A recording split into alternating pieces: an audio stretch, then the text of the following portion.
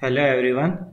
So let's start with uh, to create a data factory. So in this video we are going to create a data factory and uh, so if you will log into the portal.azure.com this particular screen will come.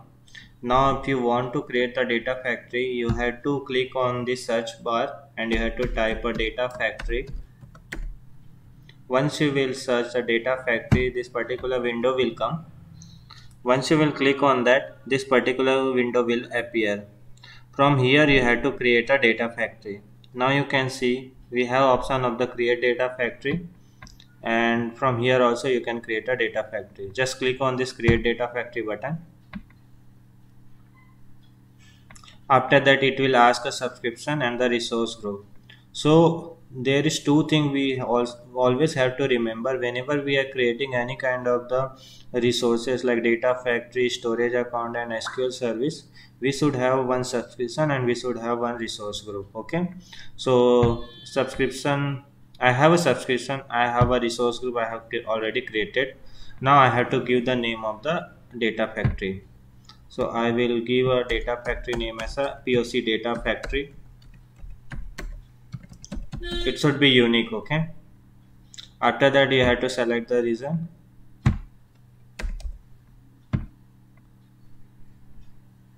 after that we have to select the region where actually we want to create. And after that we have to select the version okay? I'm going with next. So if you want to configure your github or git so you can configure from here. But as of now i am clicking on this configure git later now next is networking. In networking we have to connect with the public endpoint or the private endpoint.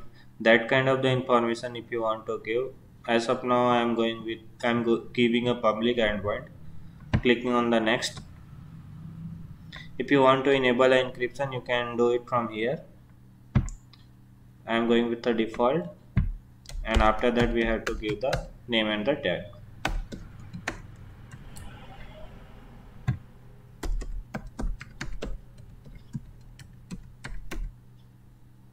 okay. Uh, we have to give the name and the value and uh, we have to click on the next that is review and create. So if you can see here this validation is in progress now. Now validation is started. You can see validation passed. Now uh, we have to click on this create button.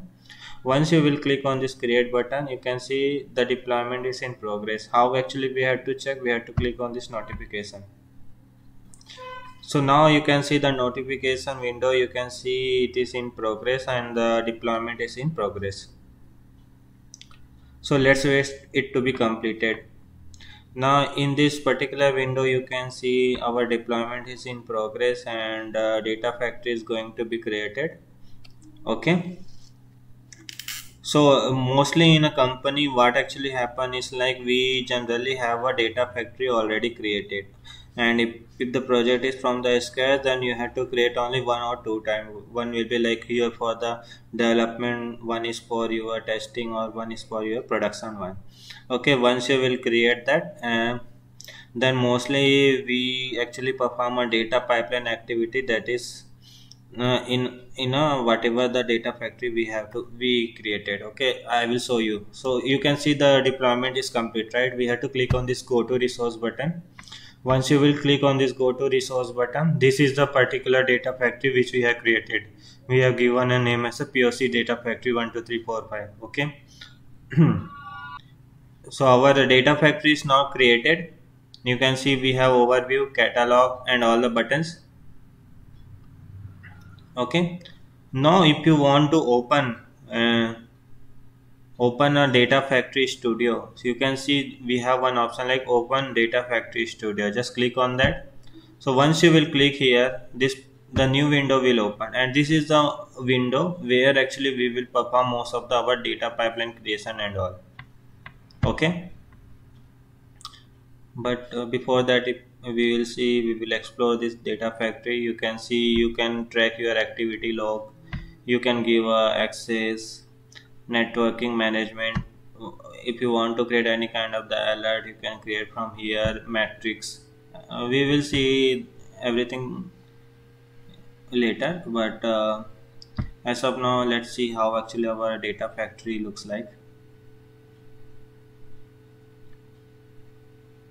Okay so it is opening. Azure Data Factory we have to wait. Okay so this is a particular window that is coming okay? This is the Data Factory Studio. And whatever the activity we have to perform we will do it here only.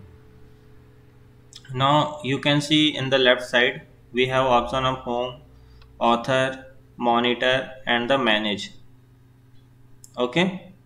So let me click on this home button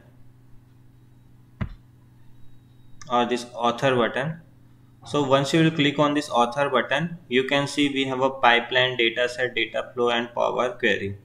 So mostly whatever the data pipeline you will create you will you are going to use this particular window only. Here in pipeline you can see if you will click here you can create a new pipeline and all. The data set you can create a data set.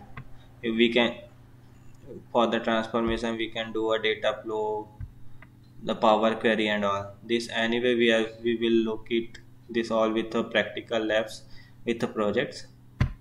Now next is our monitor window. In this monitor window you can monitor whatever your jobs is running and all. You can create an integration runtime data flow you can create alert and matrices and all. And the final is the manage. Here actually you can manage your integration runtime and you can configure git configuration and all but mostly you will you will spend your time here only in the pipeline and all